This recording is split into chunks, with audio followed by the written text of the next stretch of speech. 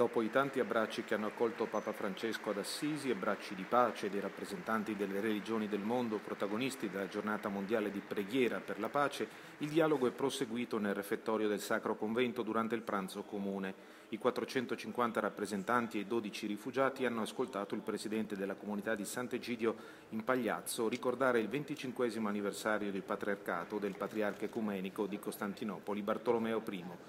Nel pomeriggio alle 16 i rappresentanti delle diverse religioni si sono raccolti per pregare per la pace in diversi luoghi della città di San Francesco, i cristiani nella basilica inferiore sopra la tomba del poverello, i musulmani nella cappella di Fratelia del Sacro Convento. E nel chiostro dei morti gli ebrei, e poi in altri luoghi buddisti e shintoisti, le religioni indiane con jainisti, zoroastriani, sikh e induisti e infine i taoisti.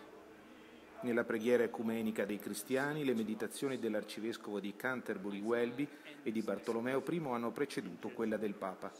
Di fronte a Cristo crocifisso, ha detto Francesco, noi cristiani siamo chiamati a contemplare il mistero dell'amore non amato e a riversare misericordia sul mondo.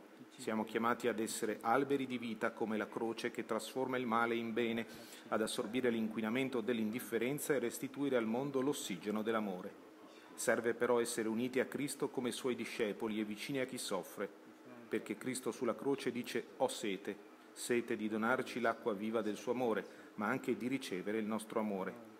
Noi cristiani dobbiamo dissetare il Signore con il nostro amore compassionevole, chinandoci sulle miserie altrui, ha concluso il pontefice, rispondendo al grido troppe volte ignorato delle vittime delle guerre, di coloro che vivono sotto i bombardamenti o sono costretti a migrare verso l'ignoto, spogliati di ogni cosa.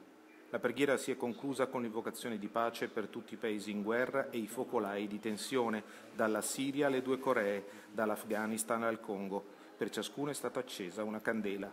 L'abbraccio di pace tra tutti i partecipanti ha suggellato con forza profetica il momento.